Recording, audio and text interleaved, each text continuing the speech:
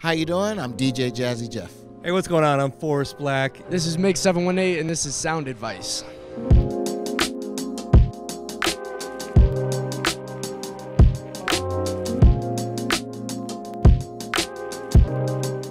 Um, the funny thing is that has changed a lot, and it's it's ever evolving. You know, I think um, you know when you're younger, you have a lot more tendency to let people all the way in. Um, and you know, and especially when technology was a little bit different.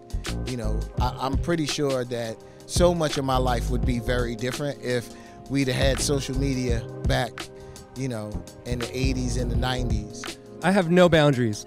I have no bound. I mean, there, there are boundaries in place, but I, uh, I'm a weirdo when it comes to fans. I love taking that, you know, band to fan relationship and breaking it down and going from band to fan, band to friend, friend to family.